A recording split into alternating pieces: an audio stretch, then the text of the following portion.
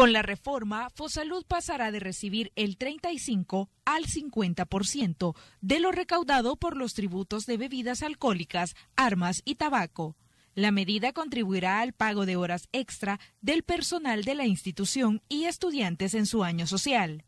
Pago de las horas de trabajo de los eh, trabajadores de salud, puesto que ellos laboran en un horario que es fuera del horario normal, dijéramos, o establecido por la Constitución, ellos entran a trabajar cuando eh, las unidades de salud cierran. Entonces es un horario nocturno, es un horario de días festivos y es un horario que por Constitución de la República se debe de pagar conforme a lo establecido en la ley.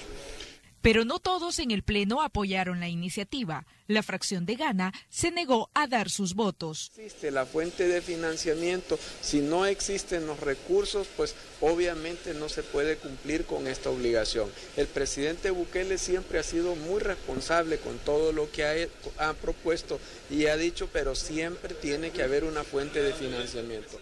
Otra de las aprobaciones que se dieron en la sesión plenaria ordinaria número 65 fue la incorporación de 2.6 millones de dólares para la compra de camillas, cunas y otros implementos que serán entregados a los hospitales de la red pública. Los fondos provienen de la deuda política que canceló el FMLN.